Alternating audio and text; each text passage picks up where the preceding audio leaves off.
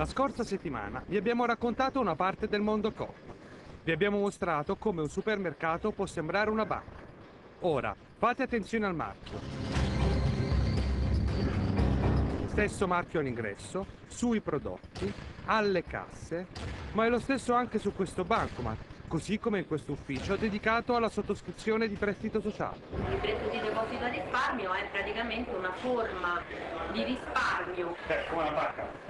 Esatto. Si può levare sempre? E il bancomat questo è sempre in funzione anche quando è chiuso. L'inchiesta vi voleva raccontare come le Coop raccolgono i soldi dei loro soci Da 0 a 5.000 prenderà questo tasso. Da 5.000 a 15.000 questo. e cosa è successo ai 17.000 risparmiatori in Friuli. Oggi ci spingeremo oltre per capire se i risparmiatori che temono di aver perso i loro soldi hanno ragione e se l'attività di prestito delle Coop costituisce o meno un reato. Ma torniamo al nostro ufficio libretti. Vedete quella porta? Siamo all'interno del supermercato. Qui è dalla prospettiva opposta. Dopo questo servizio, la Coop ci ha mandato questa lettera. Si dice che il servizio è denigratorio e che aver fatto vedere il marchio Coop non è giustificato. A voi valutare. Ma seguiteci fino in fondo, perché in questi giorni la vicenda è andata avanti e ha assunto toni sempre più preoccupanti.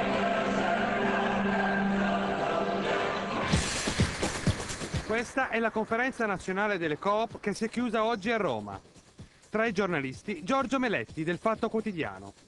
È lui, un anno fa, a scoprire che le Coop fanno da banca. Guardando i bilanci delle grandi cooperative del consumo, quelle che gestiscono i supermercati col marchio Coop, vedo che raccolgono prestito dai soci per quasi 11 miliardi di euro e mi sembra una roba strana perché in genere il prestito che un socio fa alla società di cui è socio è, pre- è capitale investito a rischio come tutto il capitale, invece qui vi viene raccolto con dei libretti come fossero libretti postali, libretti di risparmio, come fosse risparmio a vista, cioè come praticamente con una funzione che è eh, alternativa a quella della banca, senza avere l'autorizzazione della Banca d'Italia, senza assoggettarsi alla vigilanza della Banca d'Italia e soprattutto senza aderire al fondo di garanzia sui depositi.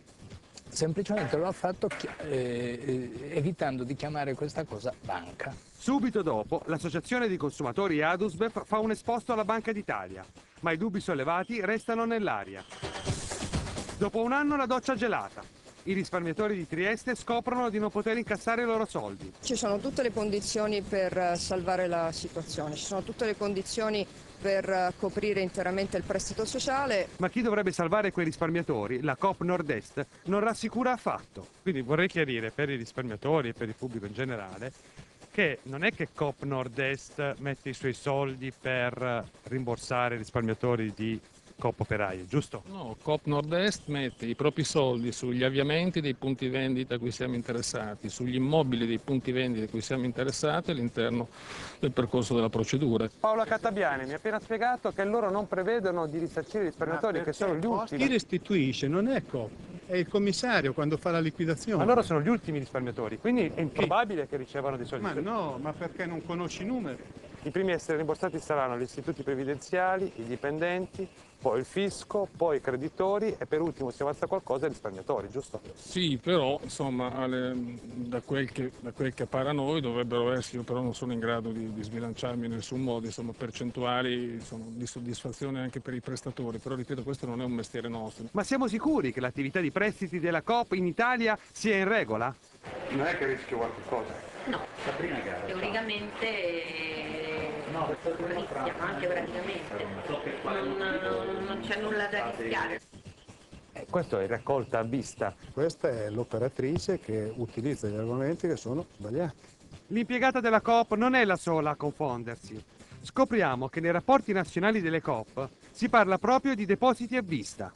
E cosa ne pensa di questo deposito a vista la Banca d'Italia? Lo abbiamo chiesto inviando questo documento. La risposta data a Virus, nero su bianco, parla di esercizio abusivo dell'attività di raccolta del risparmio tra il pubblico. Parla anche di reato penale E dice anche che sebbene la Banca d'Italia non possa investigare, intervenire o sanzionare, quest'anno due segnalazioni sono state girate da Banca Italia a magistratura e forze di polizia.